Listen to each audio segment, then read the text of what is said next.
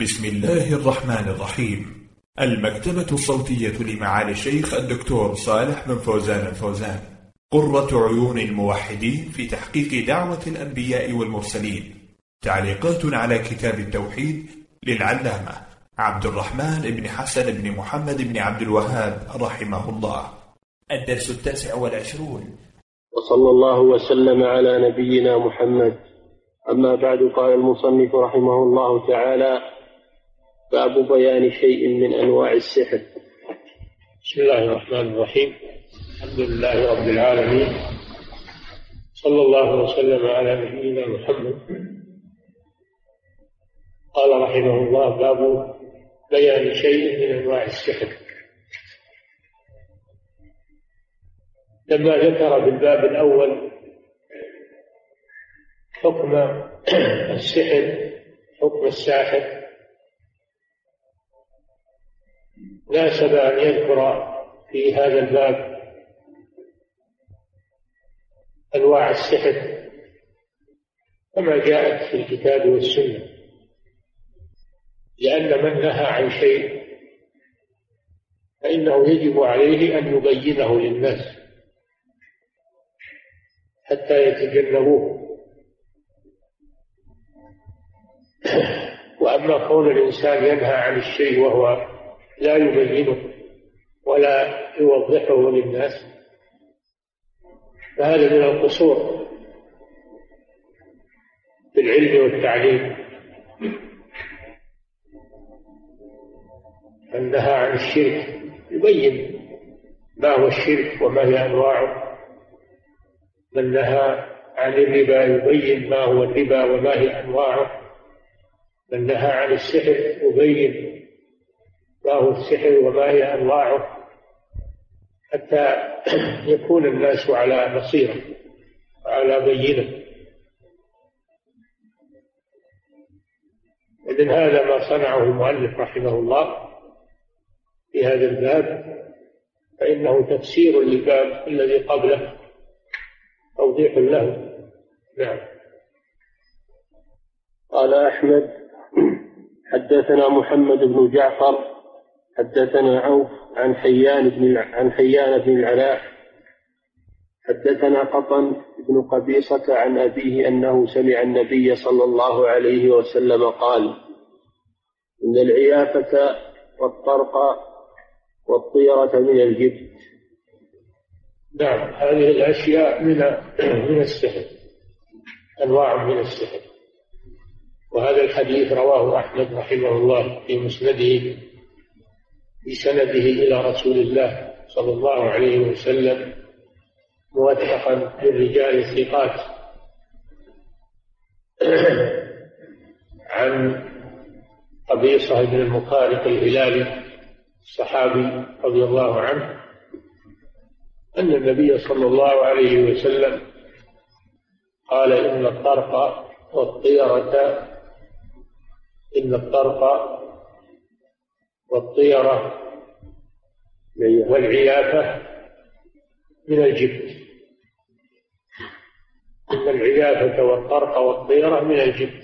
ذكر ثلاثة أنواع.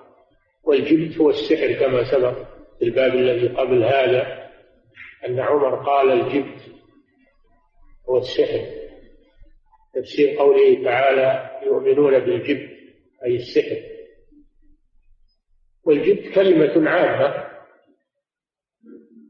تشمل أشياء منها السحر. بل بل السحر أعظم أنواع الجبت والعيافة فسرها الراوي وهو عوف بن أبي جميلة البصري المعروف بعوف الأعراب. نعم. قال عوف العيافة زجر الطير. العيافة زجر الطير. والطرف الخط يخط بالأرض. وجبت قال الحسن رنة الشيطان. إسناده جيد ولأبي داود والنسائي. حديث إسناده جيد. الحديث الذي رواه أحمد إسناده جيد. لأنه موثق بالرواة الثقات وهو يشتمل على شيئين الشيء الأول بيان حكم العيادة والطرف والطيرة. وأنها من السحر. والشيء الثاني تفسير هذه الأشياء وهذا من قبل الراوي. من قبل الراوي وهو عوف بن أبي جميل. الذي من كلام الرسول صلى الله عليه وسلم هو أوله. وأما آخره فهو من كلام الراوي وهو عوف. تفسير لهذه الأشياء. العيافة قال زجر الطير يعني التطير. وذلك أنهم كانوا في الجاهلية يتشاءمون بالطيور. يتشاءمون بالطيور إذا رأوها أو رأوا أنواعا منها يتشاءمون بالغراب يتشاءمون بالبومة وهي الهامة يتشاءمون بنوع الطيران. إذا رأوا الطيور تطير على صفة معينة عندهم كرهوا ذلك وتراجعوا عما عزموا عليه. من سفر وغيره. يزجرون الطيور يعني يتشاءمون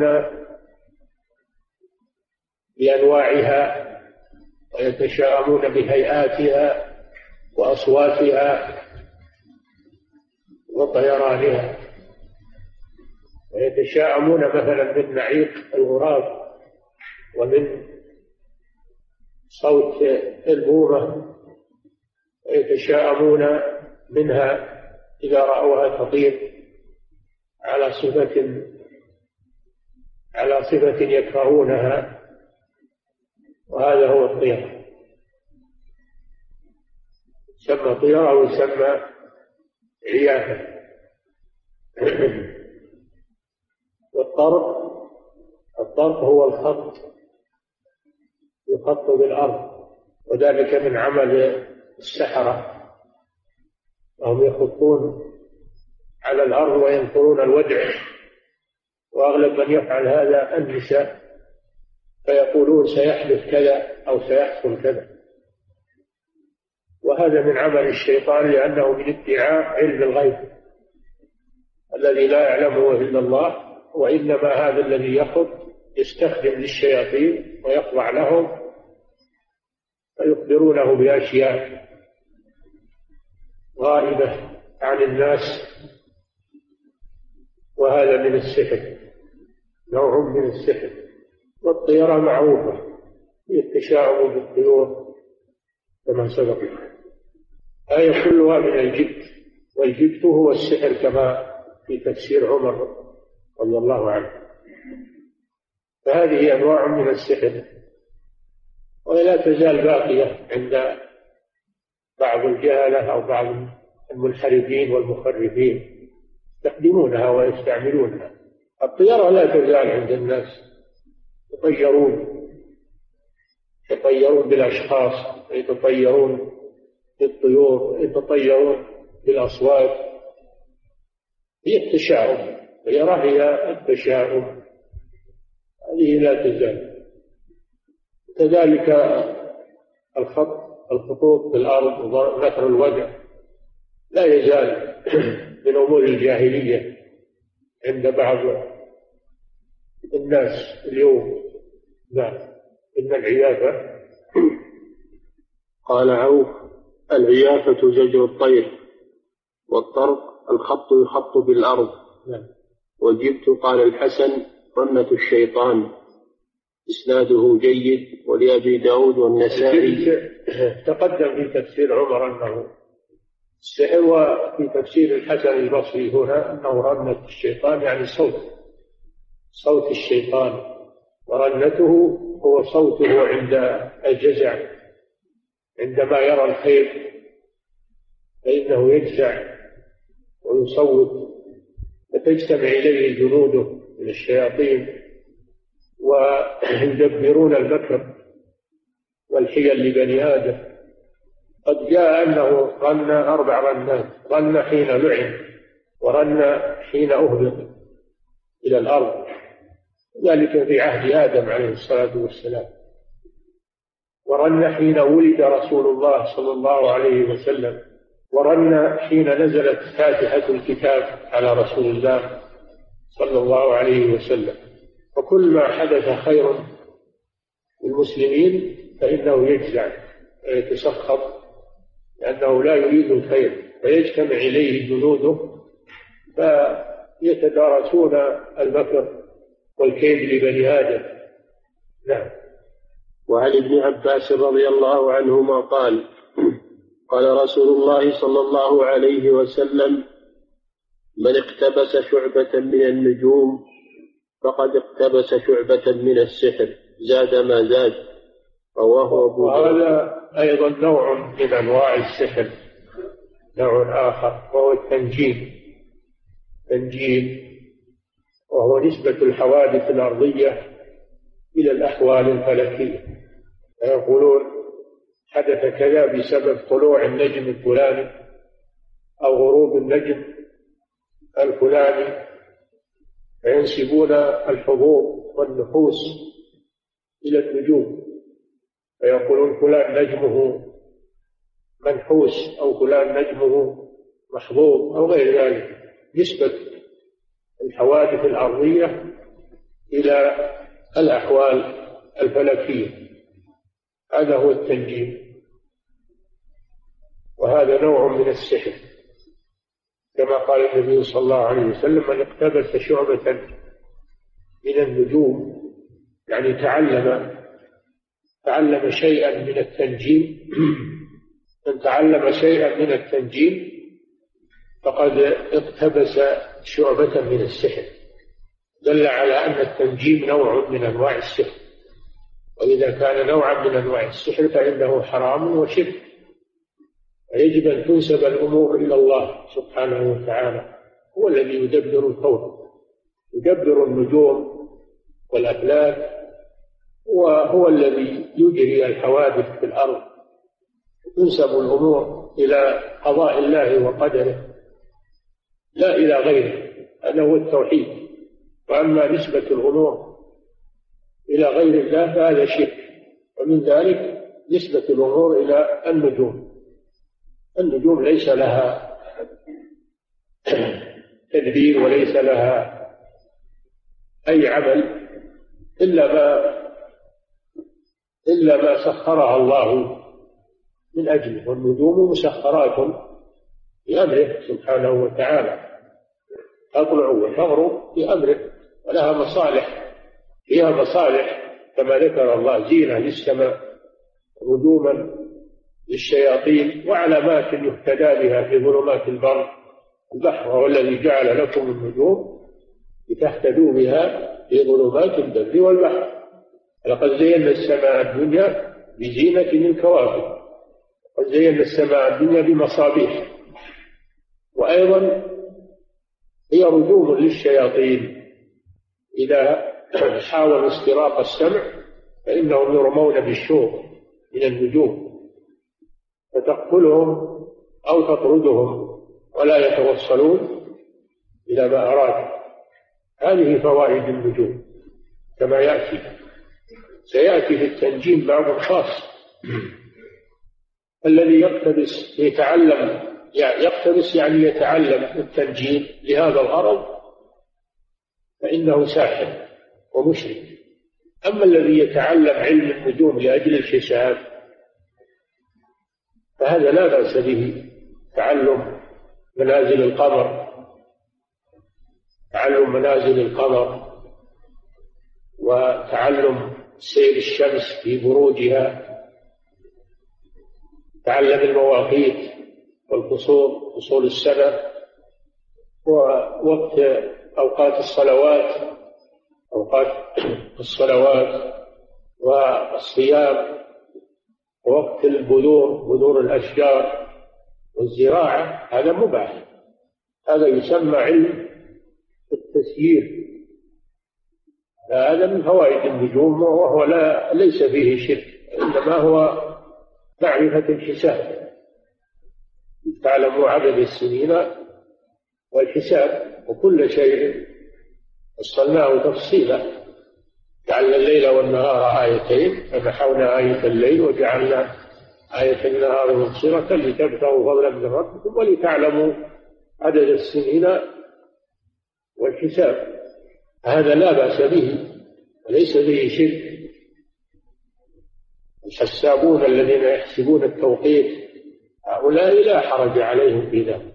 أما الذين يتعلمون التنجيم للاعتقاد والحظوظ والنحوس كما يقولون.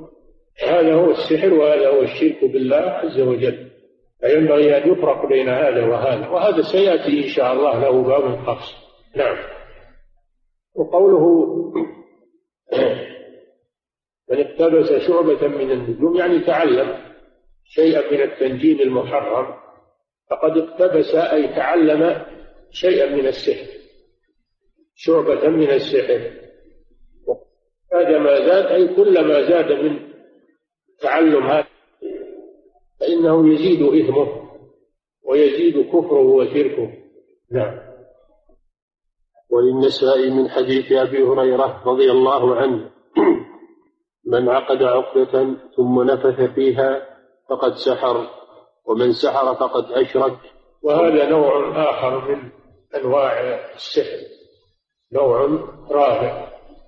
نوع خامس من أنواع السحر وهو النفث في العقد وهذا من عمل السحرة وهذا هو السحر الحقيقي.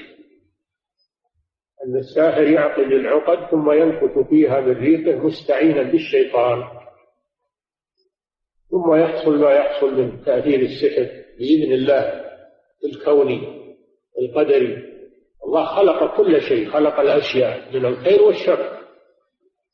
فإذا عمل الساحر هذا العمل عقد العقد ونفث فيها بنية خبيثة واستعانة بالشيطان حصل ما يحصل من تأثير السحر بإذن الله. وما هم بضارين به من أحد إلا بإذن الله أي قدره ومشيئته سبحانه لا بإذنه الشرعي.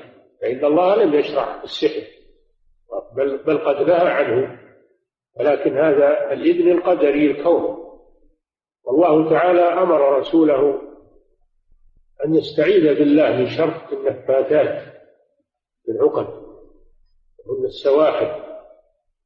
نفاثات لا جمع نفاثة وهي المرأة التي تعقد العقد في الخيوط ثم تنفث فيها بقصد الإساءة. إلى الغير وإيصال الشر إلى الغير. وهذا اصطلاح بينهم وبين الشياطين فهم يخضعون للشياطين ويستعينون بالشياطين ثم يحصل ما يحصل بتقدير الله سبحانه وقضائه وقدره.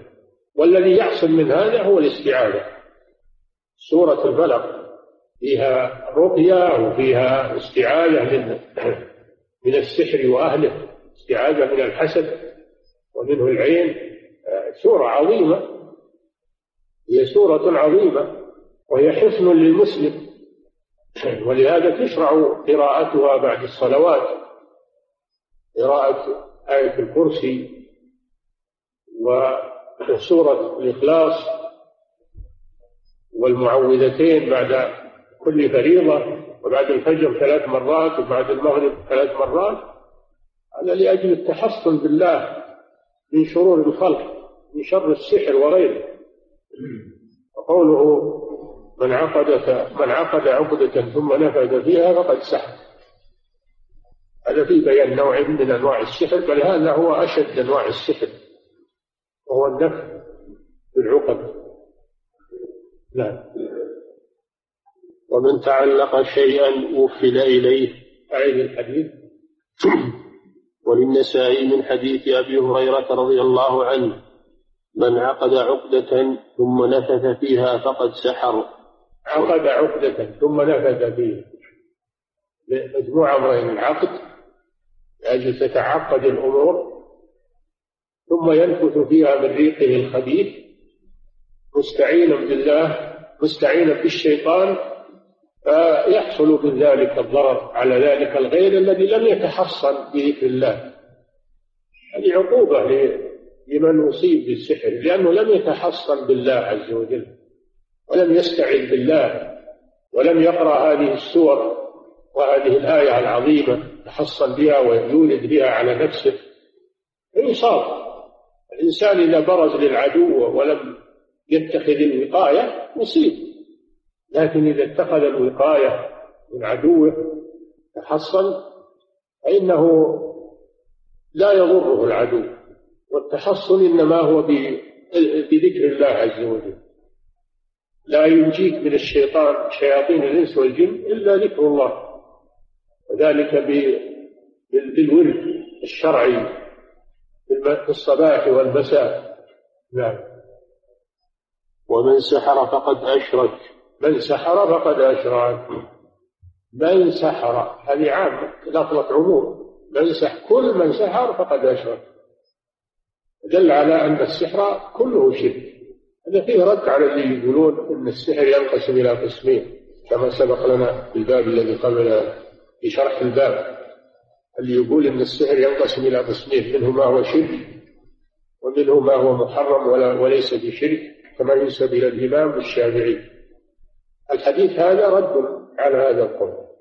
الرسول لم يستثني شيئا بل قال من سحر فقد أشرك. هذا عام في كل أنواع السحر أنه شرك.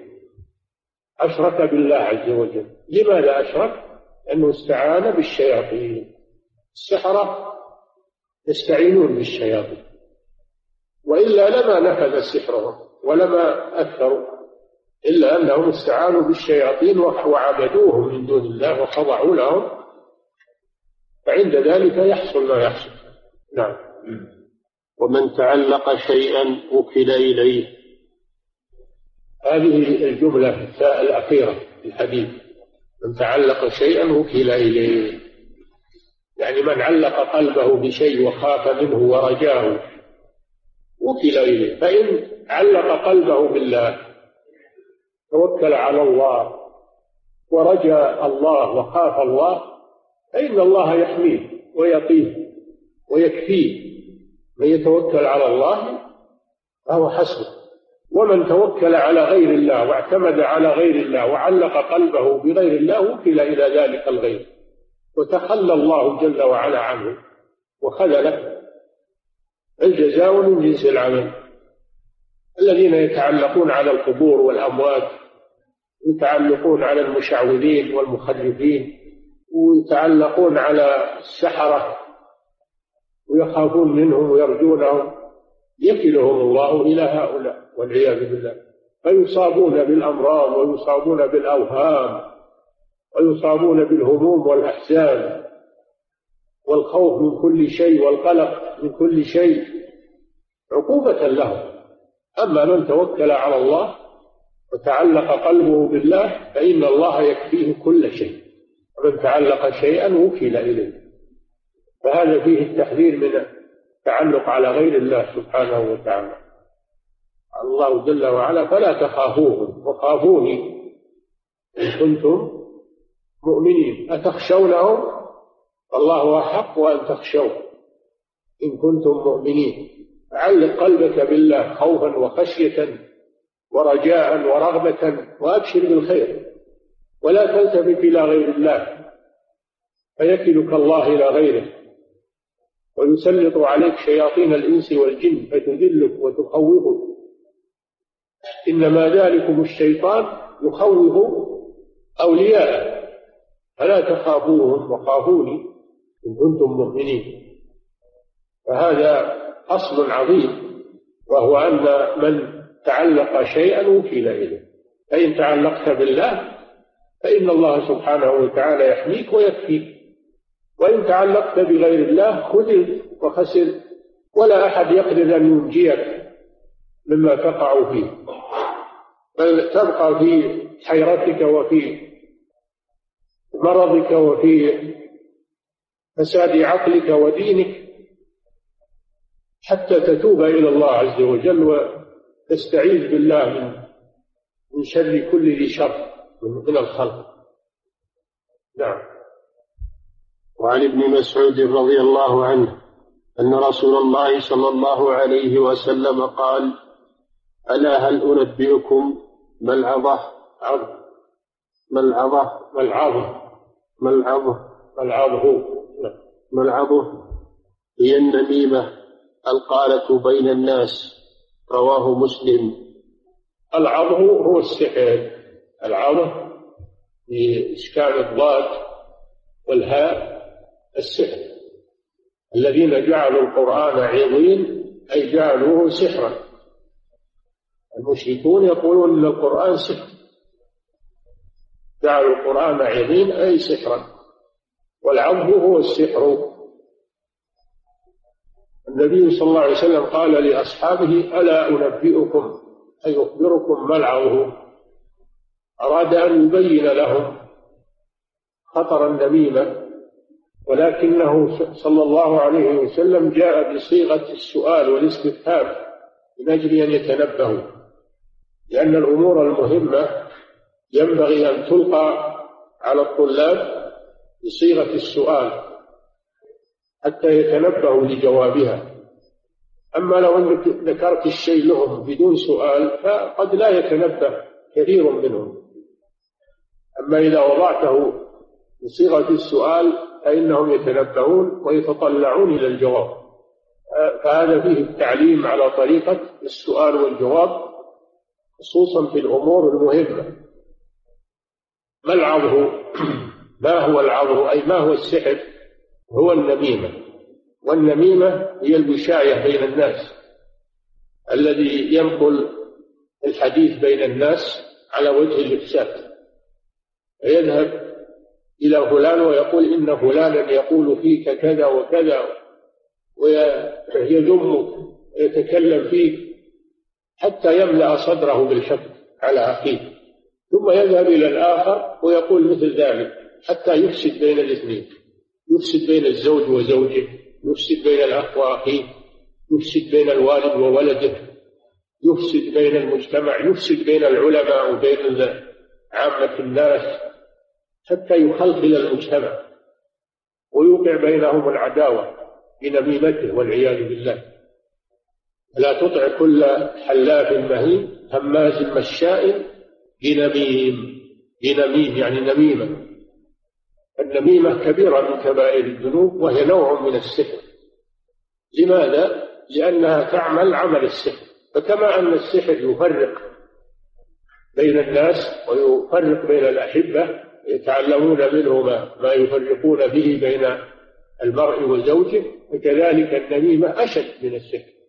تحدث من الفرقة والعداوة ما, ما, ما هو أشد من السحر. ولذلك قيل أو في الأثر إن الذمام يفسد في ساعة ما يفسده الساحر في سنة. النميمة أشد فسادا من السحر والنمامون مجرمون في المجتمع مفسدون في المجتمع. وهذه حرفة أهل النفاق وحرفة أهل الشر وما أكثرهم لا كثرهم الله.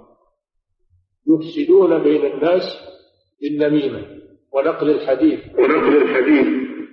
حتى لو سمعت من أحد أنه يتكلم في فلان لا يجوز تنقل هذا إلى المتكلم به. الواجب عليك الكتمان عدم نقل الحديث. فكيف إذا كان كاذبا؟ الأمر أشد. وقد مر النبي صلى الله عليه وسلم بقبرين فقال إنهما ليعذبان. فأخبر صلى الله عليه وسلم أن أحدهما كان يمشي بالنميمة. النميمة من أسباب عذاب القبر والعياذ بالله. وهنا يقول صلى الله عليه وسلم ألا أخبركم العظم هي النميمة أي السحر. القال بين الناس الذين ينقلون الحديث والقول يقولون قال فيك فلان قال فيك كذا وكذا وفلان قال فيك كذا وكذا حتى يملأ الصدور بالعداوة والحقد بين الناس. الواجب على من سمع شيئا من الكلام أن يكتبه وأن ينصح للمتكلم وينهاه عن عن الغيبة أن يغتاب أخاه ينهاه ويبين له حرمة أعراض المسلمين. أما أنه ينقل ما سمع ويبلغ للمقول فيه فهذا هو النميمة الخسيس والعياذ بالله. نعم. هذا فيه بيان نوع من أنواع السحر وهو النميمة. نعم. التي يتساهل فيها الناس ويتفكهون بها في مجالسهم. نعم. ولهما عن ابن عمر رضي الله عنهما أن رسول الله صلى الله عليه وسلم قال إن من البيان لسحرا. وهذا أيضا نوع من أنواع السحر وهو البيان. والبيان المراد به البلاغة والفصاحة في الكلام.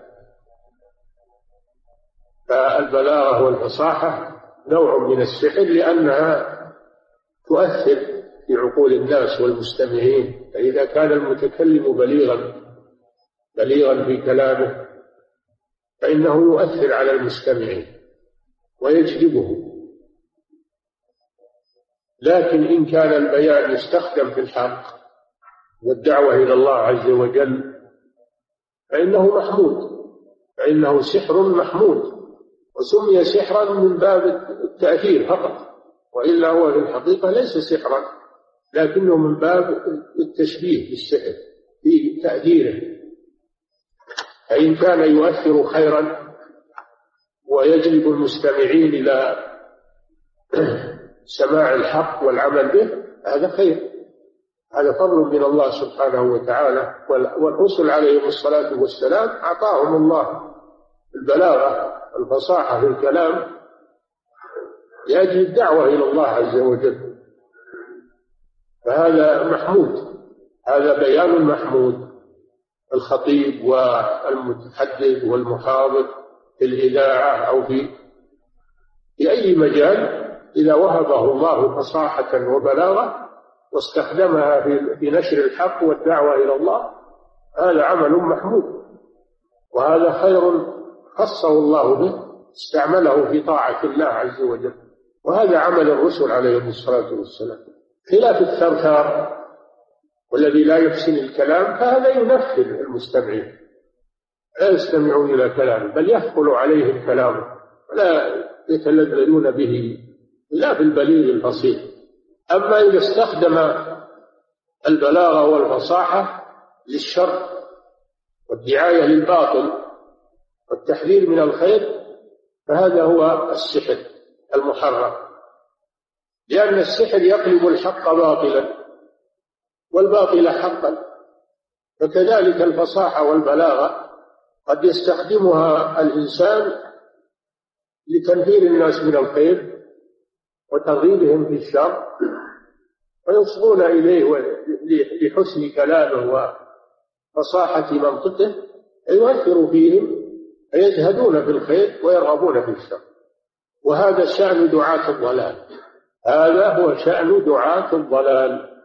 وشياطين الإنس والجن يوحي بعضهم إلى بعض زخرف القول غرورا. ولو شاء ربك ما فعلوا فذرهم وما يفترون. الشاعر يقول في زخرف القول تزيين لباطله والحق قد يعتريه سوء تعبير. الفصيح إذا استعمل فصاحته في نشر الشر هذا هو المذموم وهذا هو السحر المحرم لأنه قلب الحقائق وغير الموازين وأفسد الأفهام كعمل الساحر تماما والعياذ بالله. أما إذا استخدمه في الخير ونشر الدعوة إلى الله فهذا هو المحمود من من البيان. البيان والفصاحة لا يذمان مطلقا ولا يمدحان مطلق بل يذم منهما ما كان يستعمل في الشر ويمدح ما كان يستعمل يستعمل في الخير. نعم. باب باب بيان شيء من أنواع السحر.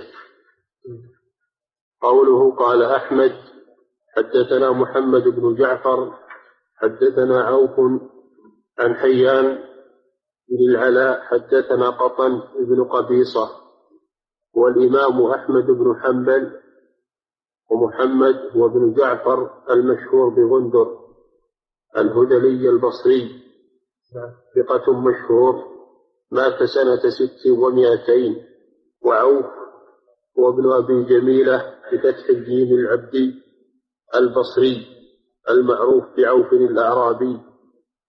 ثقة مات سنة ست أو سبع وأربعين وله ست وثمانون سنة.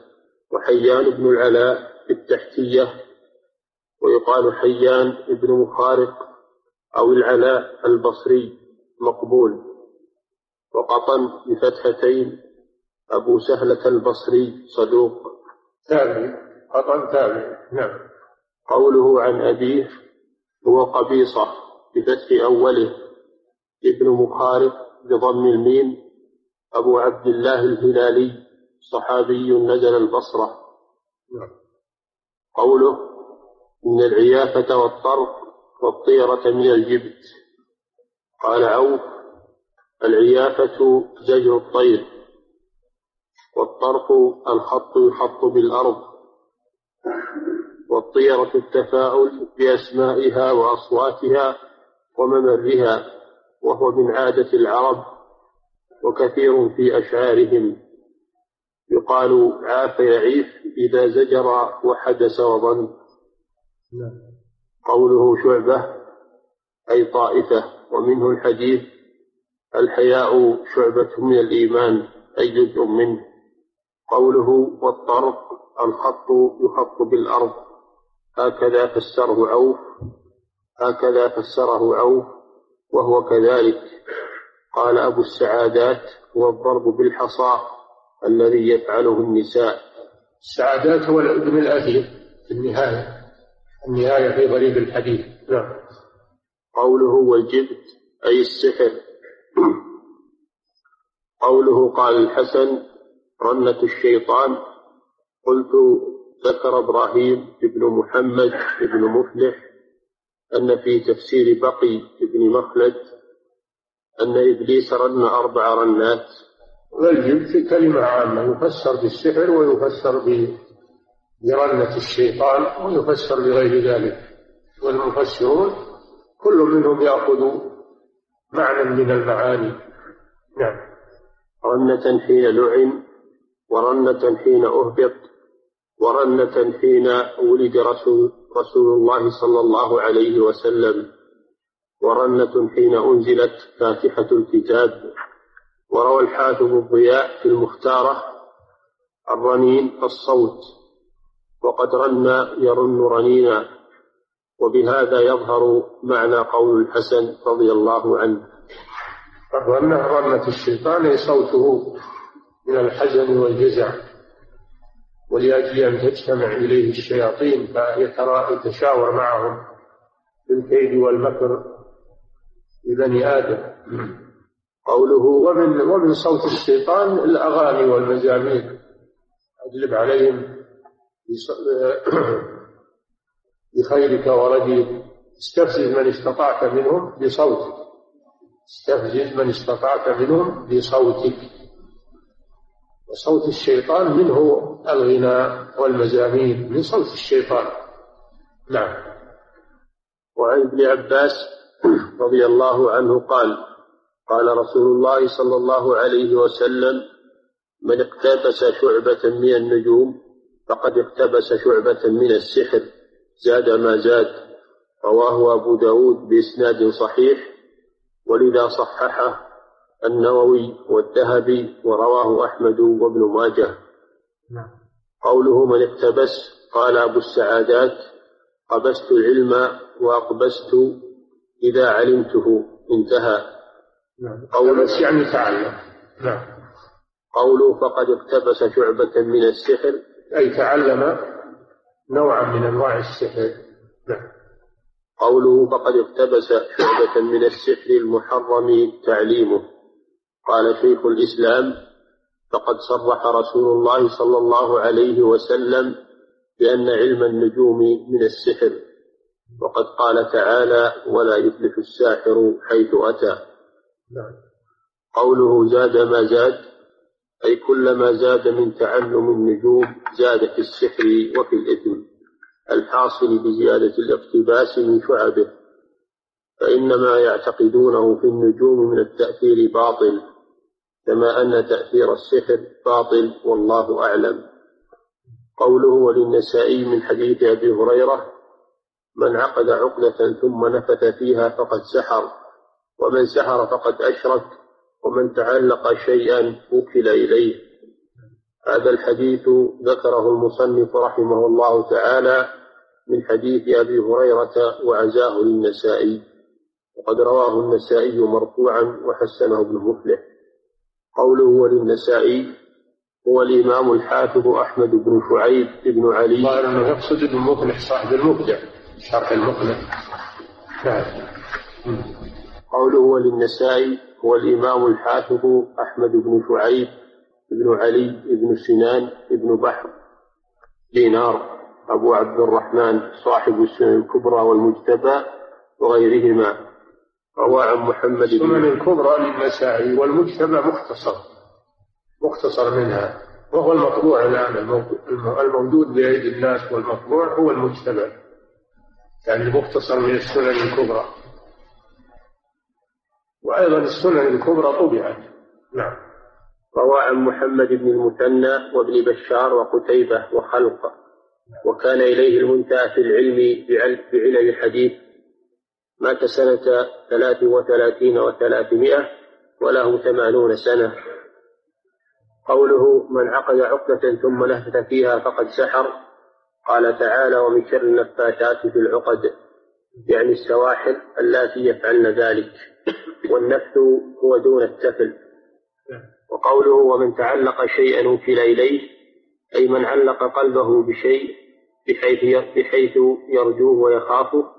وكله الله إلى ذلك الشيء ومن قصر تعلقه على الله وحده ومن قصر تعلقه على الله وحده كفاه ووقاه كما قال تعالى ومن يتوكل على الله فهو حسبه وقال تعالى وعلى الله فتوكلوا إن كنتم مؤمنين ومن تعلق قلبه بغير الله في رجاء نفع أو دفع ضر فقد أشرك نعم لأنه اعتمد على غير الله وهذا هو الشرك.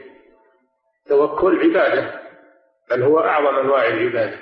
التوكل على الله فمن توكل على غير الله فقد صرف نوعا من أنواع العبادة لغير الله وهذا هو الشرك.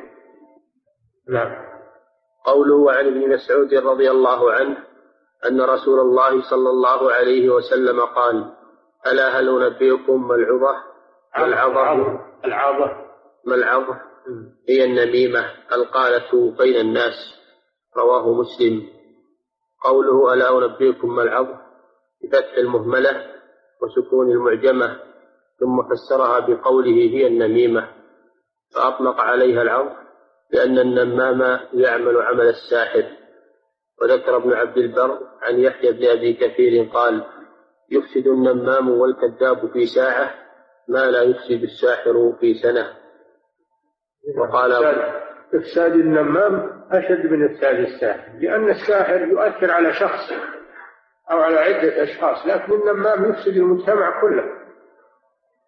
يمشي بين الناس ويفسد بينهم بالنميمة. فيفسد المجتمع كله وقد تقوم الحروب بين الناس بسبب النمام. ولهذا قال تعالى يا أيها الذين آمنوا إن جاءكم فاسق بنبأ فتبينوا أن تصيبوا قوما بجهالة فتصبحوا على ما فعلتم نادمين. فيجب الحذر من النمامين. نعم. وقال أبو الخطاب في عيون المسائل ومن, ومن السحر السعي بالنميمة والإفساد بين الناس. قال ابن حزم واتفقوا على تحريم الغيبة والنميمة في غير النصيحة الواجبة. أما الغيبة إذا كان المقصود منها المقصود منها النصيحة تحذر من من فلان من أجل أن لا يغتر به الناس. هذه نصيحة. أو واحد شاورك استشارك في في فلان في شاركه ولا زوجه استشارك فيه تبين ما فيه من العيوب. باب النصيحة ما هو من باب الغيبة؟ من باب النصيحة. أو تشتكي على على ولي الأمر ظالما ظلمك وتذكر أنه ظالم وأنه كذاب وأنه كذا من أجل من أجل آه، إنصافك منه وأخذ الحق منه فهذا ليس من من الغيبة. هذا من أجل المصلحة. نعم. أما إذا كان بغير مصلحة هذه هي الغيبة المحرمة. ولا يغتب بعضكم بعضا. أيحب أحدكم أن يأكل لحم أخيه ميتا فكرهتم. كذلك من من النصيحة آه، بيان الجرح والتعديل في الرواة. لا شك أنه ذكر معايبهم ولكن هذا لمصلحة الأمة لأجل حفظ الشريعة لأجل حفظ الشريعة أن يدخل فيها كذب أو يكذب على رسول الله صلى الله عليه وسلم فيبين حالة الراوي وما فيه من من الاتهام والبدعة وغير ذلك من أجل أن لا يغتر بروايته. هذا من باب النصيحة. نعم. وفيه دليل على أنها من الكبائر. قوله يعني, يعني النميمة. أنها من الكبائر لأن إذا كانت من السحر السحر كبيرة من الكبائر. كما سبق في الباب الذي قبل هذا اجتنبوا السبع الموبقات الشرك بالله والسحر. والنميمة نوع من السحر فتكون من الكبائر. ولأن الله رتب عليها الوعيد. نعم. قوله القالة بين الناس ومنه الحديث ففشت القالة بين الناس أي كثرة القول وإيقاع الخصومة. نعم. قوله ولهما عن ابن عمر أن رسول الله صلى الله عليه وسلم قال إن من البيان لسحرا. البيان الفصاحة والبلاغة.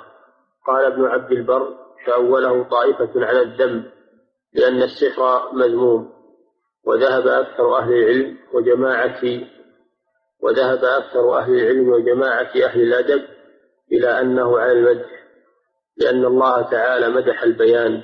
الصواب أنه ليس للذم مطلقا ولا للمدح مطلقا بل هو بحسب ما يستعمل. فإن استعمل في الخير فهو ممدوح. وإن استعمل في الشر فهو مذموم. نعم.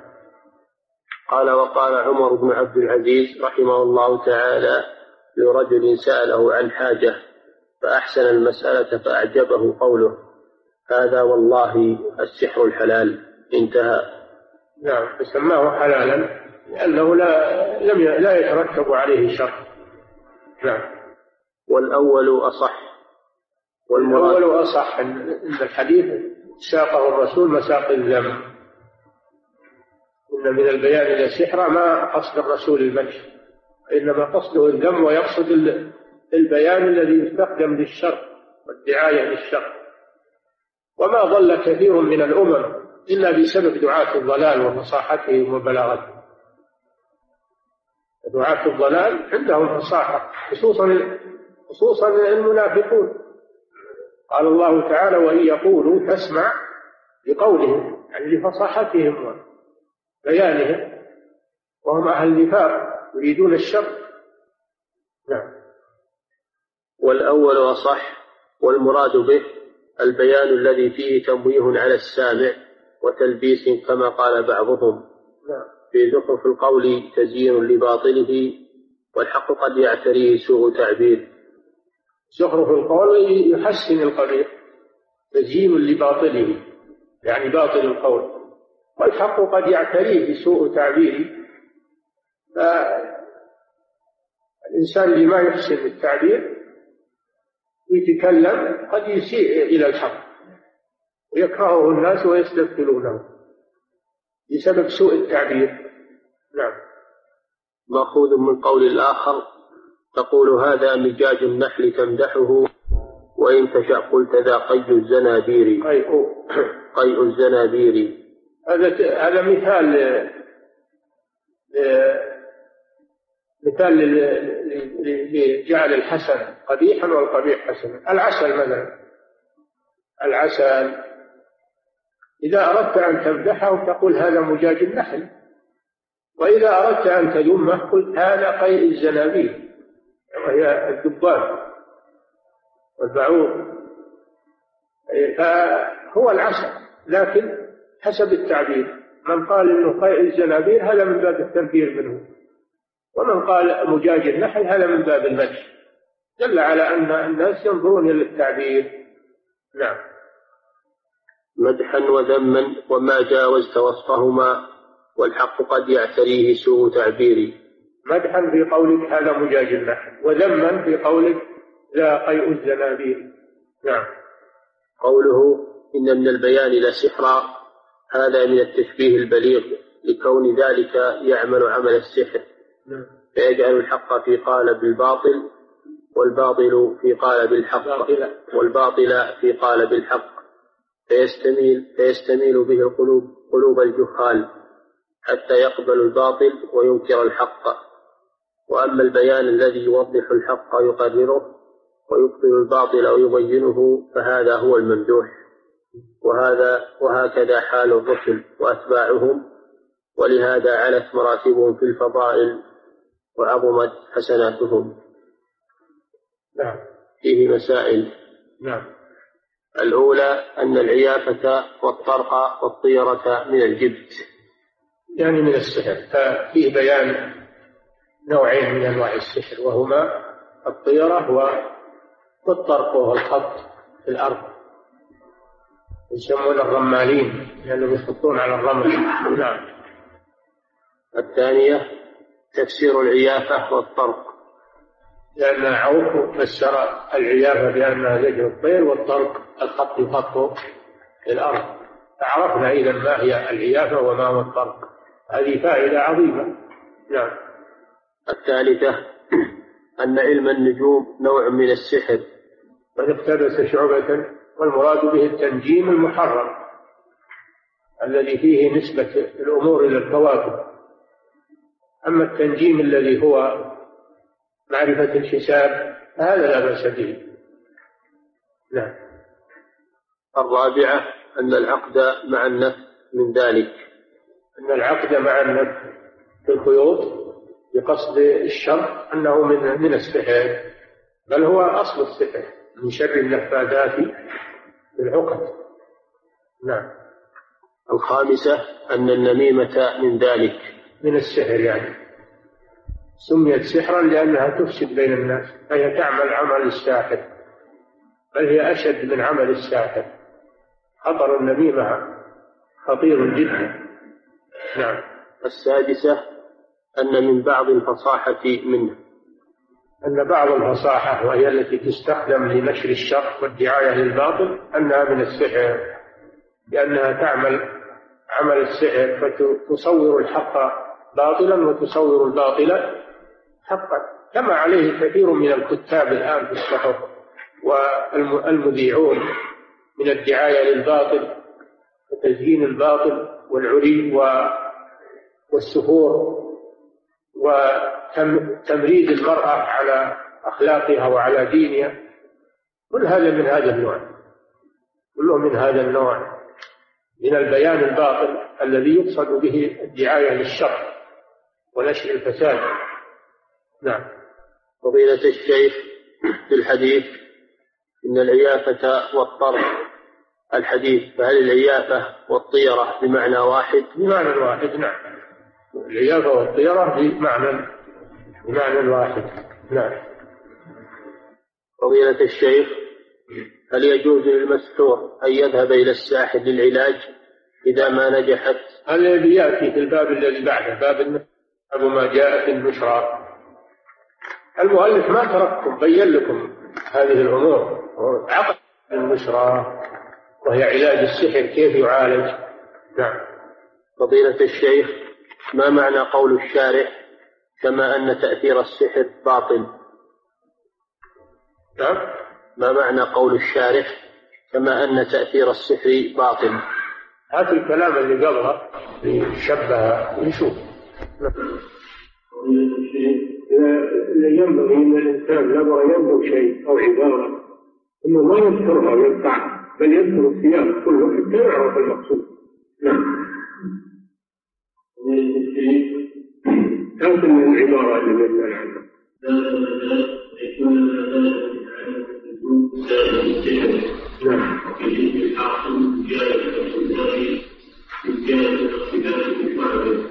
نعم. فإنما يحتملون ويخرجون من تأثير الباطل من تأثير باطل وأن تأثير باطل والله أعلم واضح التأثير أن السحر أثره باطل. كذلك التنجيم أثره باطل لأنه اعتقاد بغير الله عز وجل وشرك بالله. كما أن السحر شرك وكذلك التنجيم نشر وباطل. نعم. ومن الشيء أن المسلم شيطان وأن يكون من الله. أن يتعامل مع هؤلاء مسلم الجن لا يقال لهم شياطين الشياطين مردة الجن الشياطين كفرة الجن مردة الجن أما المسلمون منهم فإنهم مسلمون ومؤمنون وإخوان لنا من إخواننا. في فرق بين الكافر بين الجني الكافر والجني المسلم الجني الكافر هذا شيطان. والجني المسلم هذا مؤمن وأخ لنا في الله. أخ لنا الله عز وجل وأما الاستعانة بالجن فلا تجوز مطلقا. لا تجوز الاستعانة بالجن لأن هذا وسيلة إلى الشر. وما ورد أن أحد استعان بالجن. نعم. يترك النبي توبته يندم على ما حصل منه ويقلع عن النميمة يعني يتركها ويعزم ما يعود إليه. توبة النمام مثل توبة غيره نعم. قوله الله في شيء هذا يأتي إن شاء الله في باب الطيرة. يأتي في باب الطيرة. ولكن معناه أن ليس هذا من الطيرة بل هذه أشياء خلق الله بها الشر يعني شريرة فتجتنب من أجل شرها ليس معناها الطيرة اللي تطير بكل شيء تطير بالأخيار وتطير بالصالحين بل المراد إنه يتجنب الأشياء التي عرفت بأنها شريره تجنب نعم. رسول الله كله كله كله يصلح من بعد الظهر إذا زالت الشمس دخل المساء فلو أوردت عند زوال الشمس قد أوردت للمساء وكذلك لو أوردت بعد العصر أو بعد المغرب كله كله في المساء نعم من الشيء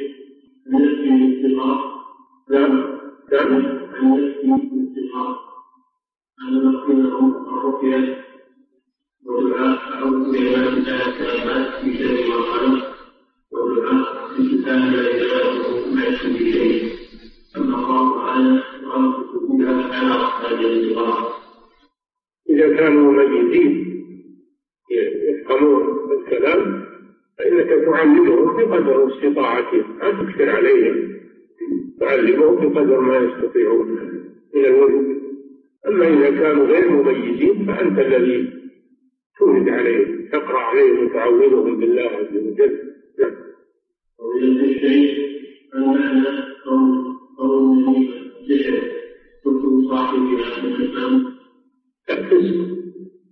ما ما يتاخذ حكم السحر من كل وجه بمعنى أنه يقتل وأنه يكفر كما يكفر الساحر لا. لكنها تأخذ حكم السحر من من وجه الإفساد والتأليف ولا تأخذ حكمه من حيث الكفر ومن حيث وجوب القتل. لا تأخذ حكمه من هذه الناحية. نعم. من الشيء العلم بالأخبار الموجود الآن رؤيه بعد الأخبار كرؤية لا هذا من التوقعات.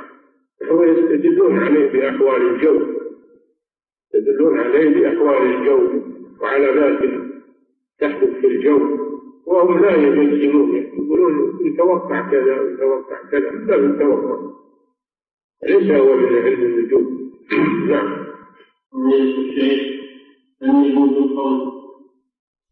البلد مثلا في كذا لا يقال دخل الفصل فصل البرد فصل الشتاء دخل فصل الصيف فصل الربيع فصل الخريف ترى الفصول ومن سنة الله جل وعلا أنه جعل في كل فصل جعل فيه إما الحر وإما البرد وإما الاعتداء نعم. هي العلة أن الاستعانة بالشياطين أشهر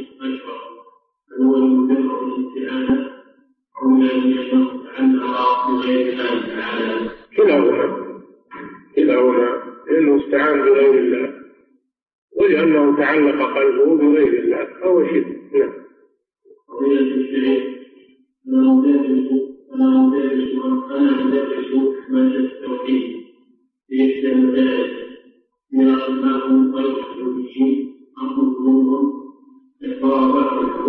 من التي يستعملونها حتى أبين الكتاب بأن هذه الأشياء لا تنفع ولا تضر عن أمر الأشياء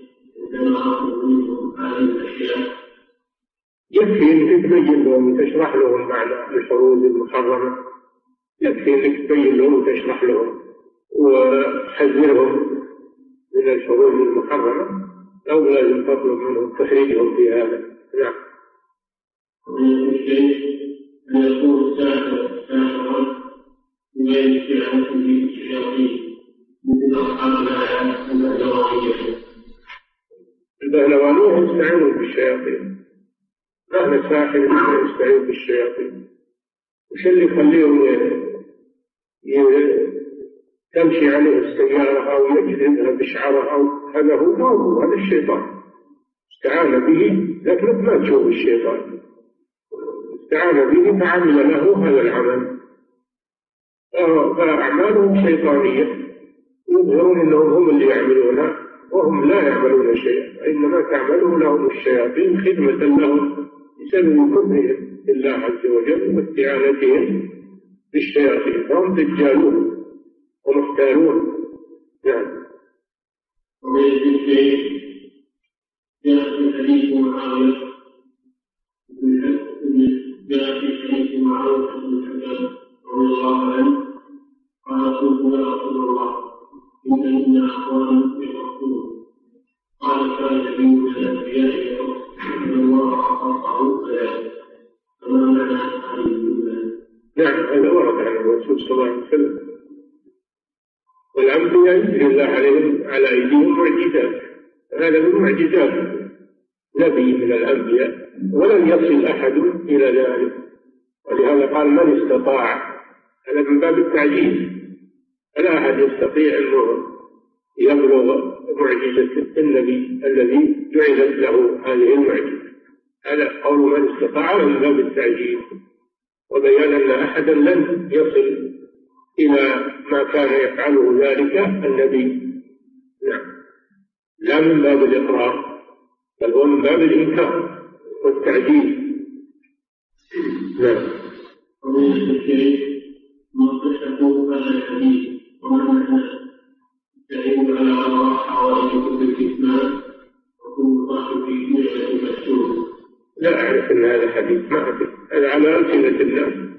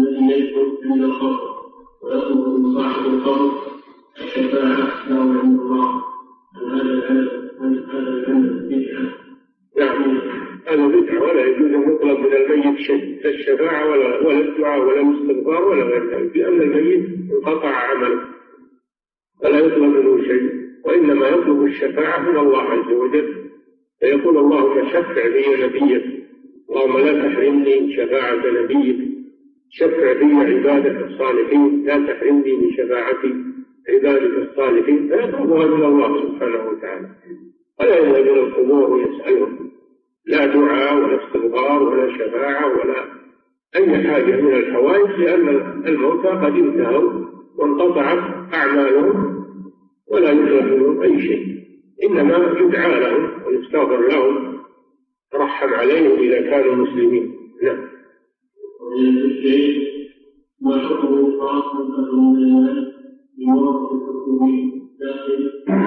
داخل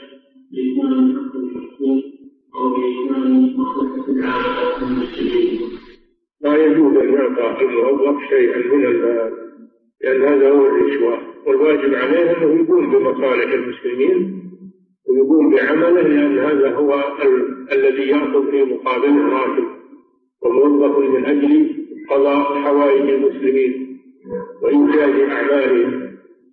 فلا يجوز أنه يدفع لهم إذا دفع فهذه هي الرشوة المحرمة التي لعن النبي صلى الله عليه وسلم من فعلها من من دفعها ومن ومن أخذها ومن سعى فيها ومن سعى فيها نعم. وما فسدت الأعمال وما فسدت مصالح الناس إلا بسبب الرشوة. نعم. من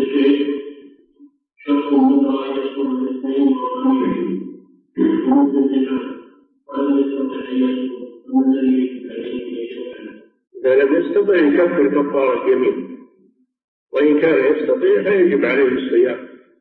قوله صلى الله عليه وسلم من نذر أن يطيع الله فليطيعه من نذر أن يعصي الله فلا يعصي. وهذا شأن كثير من الناس ينذرون ثم إذا جاء الوفاء صار يتبرم ويتثاقل ويتكاسل هذا أمر لا يجب الإنسان إذا نذر لله يجب عليه الوفاء وقل الله الله أحق بالوفاء. لا يجوز للإنسان إلا إذا كان عاجزا. العاجز يكفر كفارة يمين عن الندم نعم.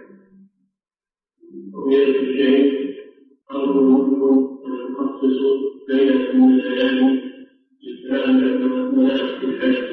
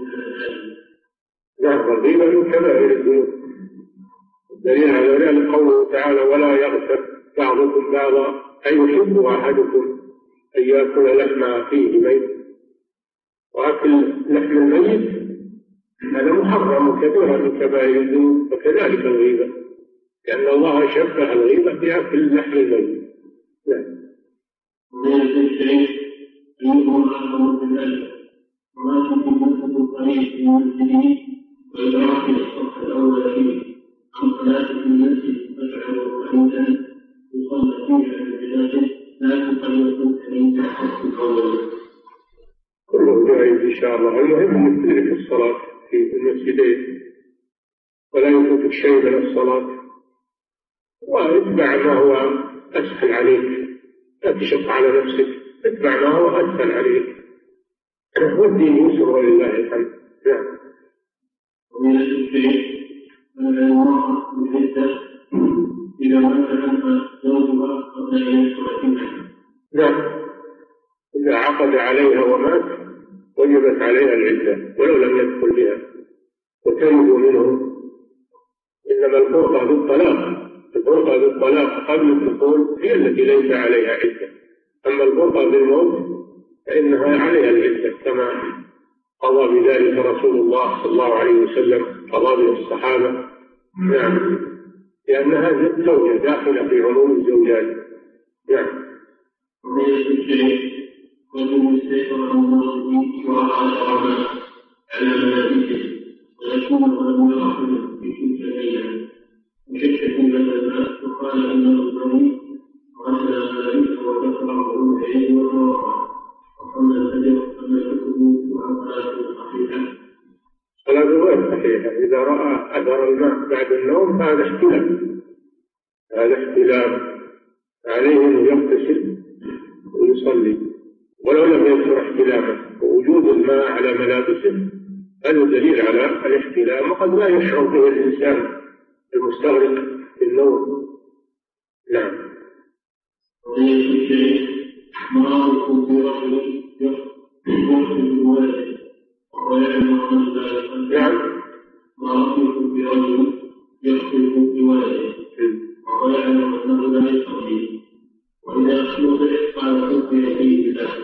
أن يشرك الإفطار فهي المرأة بذلك نعم لا يجوز انه انه يحفظ ولا يصلي. الذي يترك الصلاة متعمدا كافر ولا يزوج من المسلمة ولا ترجعوهن إلى الكفار لا هن حل لهم ولا هم يحلون لهم فيجب عليه أنه يلزم ولده بالتوبة والمحافظة على الصلاة ثم بعد ذلك يخطب له امرأة نعم.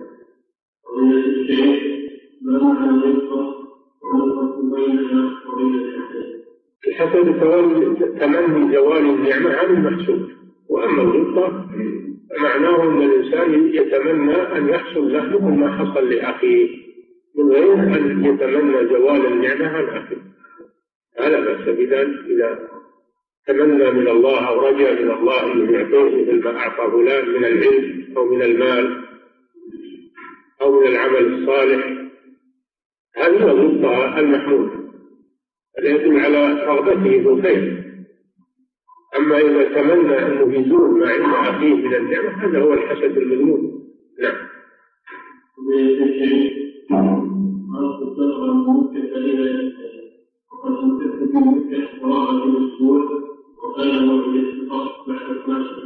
نعم. شو قصد؟ لا أعيد السؤال. إلى نعم وقد انتهت بمكة وراء الأسبوع وكان موعد الاستطاع بعد صلاة المغرب مباشرة وبعد أداء المغرب صليت أنا وجميعي في المغرب ثم رجعت الصلاة ودخلنا مع الإمام في صلاة العشاء وأسلمنا الرابعة هكذا الصحيح هم مسافرون هم مسافرون وأرادوا التحرك من مكة إلى المطار ليواصلوا سفرهم فصلوا جمعوا بين الصلاتين. جمعوا بين الصلاتين لأنهم يريدون السفر. لا مانع من ذلك لأنهم إذا تحركوا للسفر فقد فقد دخلوا في أحكام المسافر نعم. أما لو كانوا من أهل مكة لو كانوا من أهل مكة فإنهم لا يجوز لهم الجمع لأنهم ما بعد خرجوا من البلد ولا يجوز لهم القصر لأنهم ما بعد خرجوا من البلد. الله تعالى أعلم وصلى الله وسلم على نبينا محمد